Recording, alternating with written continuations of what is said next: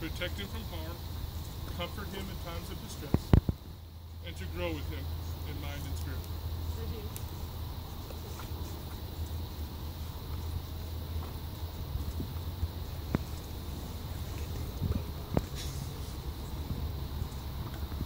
Mm-hmm.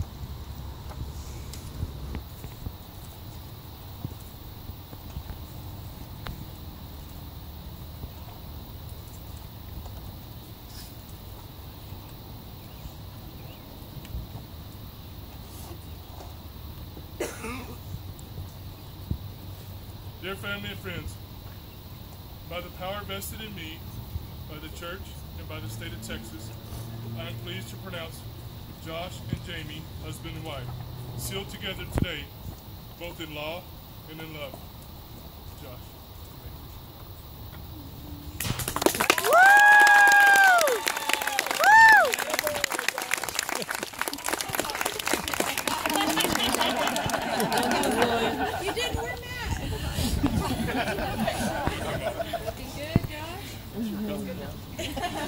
Dirty beloved, family, friends, acquaintances.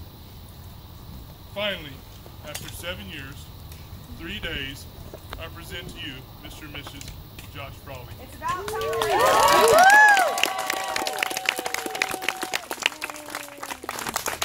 Yay.